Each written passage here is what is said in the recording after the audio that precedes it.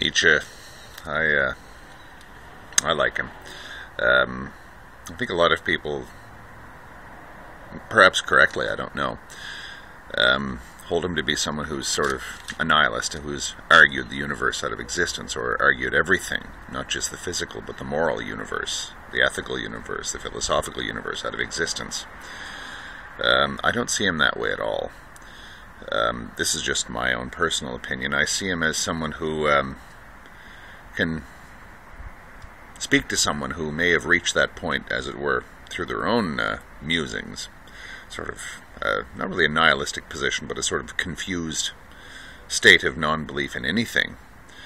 Um, he can sort of speak to that person and say, There, now that we've gotten that out of the way, um, the real thinking can begin.